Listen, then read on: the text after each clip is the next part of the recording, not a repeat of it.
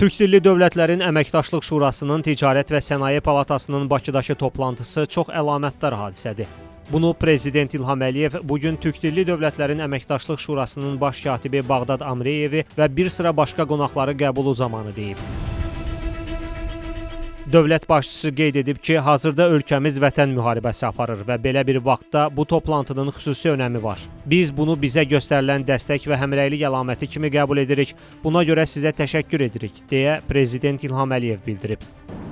Müharibənin ilk günlərindən biz e, Türkiyənin və digər e, qardaş dost ölkələrin dəstəyini hiss edirik və bildiyiniz kimi ilk Türkiyə e, Cumhuriyyətinin e, Cumhurbaşqanı mənim əziz qardaşım e, bizə dəstək verdi. Çox əhəmiyyətli bəyanatlar verdi. Demişdi ki, Azərbaycan tək deyil, Türkiyə Azərbaycanın yanındadır. Ondan sonra digər dost qardaş ölkələrin dövlət hökumət başçıları, Pakistan, Əfqanistan və digər dövlətlərin dövlət hökumət başçıları bizə dəstək göstərdilər. Şadam ki, Türk dilli dövlətlərin Əməkdaşlıq Şurası bizə dəstək göstərmişdir və şuranın çox önəmli bəyanatı olmuşdur.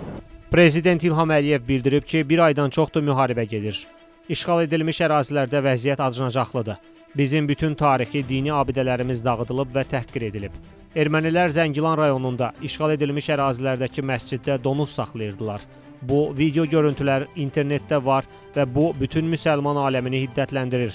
Bu bir daha onu göstərir ki, Ermənistan dövləti bütün müsəlman aləminə nifrətlə yanaşır, əks təqdirdə belə alçaq hərəkətlər baş verməzdi. Əlbəttə ki, bütün müsəlman dünyası bir də görür ki, e, biz hansı vəhşi düşmənlə üz-üzəyik. E, döyüş meydanında bizim qabağımızda dayana bilməyən Ermənistan bizim şəhərlərimizi, kəndlərimizi hər gün atəşə tutur. Bax, bugün səhər mənə verilən məlumata görə səhər saat 6-dan indi saat 9-a 5 dəqiqə qalıb 200-dən çox mərmi e, bizim şəhər və kəndlərimizə atılıb. Ermənistan e, qadağan edilmiş silahlardan istifadə edərək maksimum insanları e, öldürmək üçün bu silahlardan istifadə edir. Bizim isə intiqamımız döyüş meydanındadır. Bunu mən dəfələrlə bildirmişdim. Demişdim ki, biz intiqamımızı döyüş meydanında alacağıq və alırıq. Düşməni qovuruq və qovacağıq.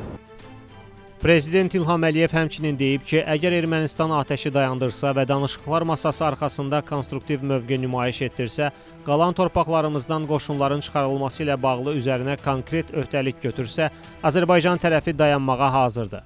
Biz hesab edirik ki, münaqişənin hərbi həlli siyasi müstəviyə keçməlidir və biz buna hazırıq, deyə İlham Əliyev əlavə edib. Türk dilli dövlətlərin əməkdaşlıq şurasının baş katibi Bağdad Amreyev isə bildirib ki, Türk iş dünyası qardaş Azərbaycanın səsini bütün dünyaya çatdırmaq üçün Bakıya gəlib. Ermənistanın Azərbaycana hücumlarının başladığı ilk günlərdən bəri Türk Şurası olaraq, Türk dünyası olaraq biz qardaş Azərbaycanın yanındayıq, deyə Bağdad Amreyev bildirib. Ben Gəncəyə e, getdim, or orada da basın e, mensuplarının, mensuplarına görüşmede daha bir kez bizim sert e, pozisyonumuzu ifade ettik.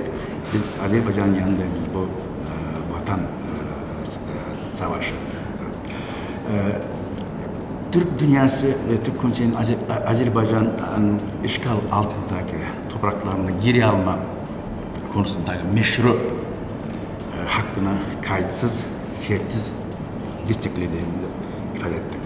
Bu meselenin ancak ve ancak Azerbaycan Cumhuriyeti'nin egemenliği, toprak bütünlüğü ve uluslararası kabul e, etmiş, kabul görmüş e, sınırlarının dokunulması temelinde e, çözülmesi lazım. Türkiyənin Odalar və Borsalar Birliyinin prezidenti Mustafa Rifat isə çıxışında bildirib ki, 50 milyon nəfəri təmsil edən Türk İş Dünyası birliklərinin rəhbərləri olaraq Azərbaycanlıların yanında olduqlarını nümayiş etdirmək üçün Azərbaycana gəliblər.